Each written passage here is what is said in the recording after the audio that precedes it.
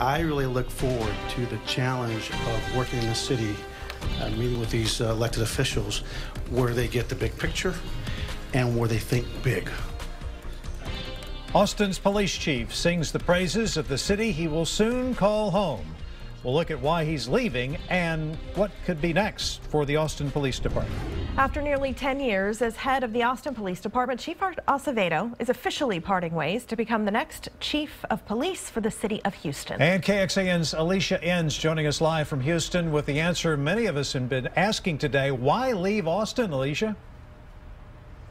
Well, I was able to pull the chief aside after the press conference this afternoon and ask him just that. He put it very simply, one phrase, and he said it was time to leave. Now, the job here in Houston has been open since Chief Charles McClelland actually retired back in February. So we're looking at about nine months where there's been no official chief of police for the city of Houston. Now, as Acevedo takes over, he says he's got a whole new set of priorities for the city.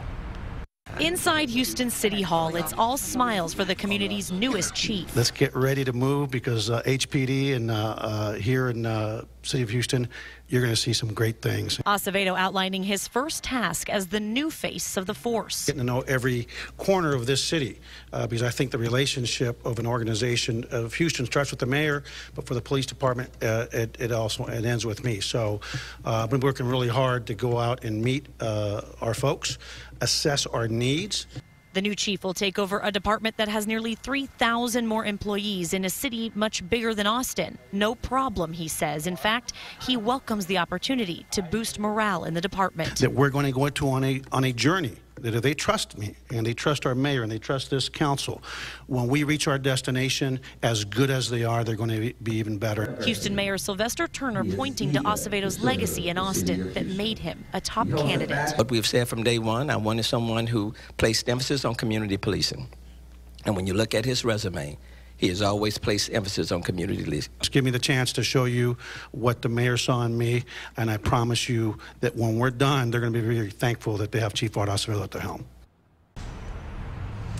All right, now sources close to KXAN have told us that Art Acevedo is going to be starting his new role as chief of police here in Houston on December 5th. As for his last day with APD, we do not have that confirmed yet. Hopefully going to get that confirmed by the chief himself. He's going back to Austin tonight, and we'll have a press conference tomorrow morning where we can hopefully get some more questions answered from him. I know he seems very excited for this new opportunity here in Houston. For now, we're live in Houston. Alicia Enns, KXAN News. Austin Mayor Steve Adler says the chief change is an opportunity for the new 10-1 council to play a larger role. That's because they will need to help guide lots of new leaders from new city council members to city manager to police chief. I'm, I'm certainly more sad than happy that, uh, that the chief is, is leaving us and going to Houston. In, in every moment like this, there are also uh, the, the, the, positives and the hopes and the, and the, the new opportunities that arise.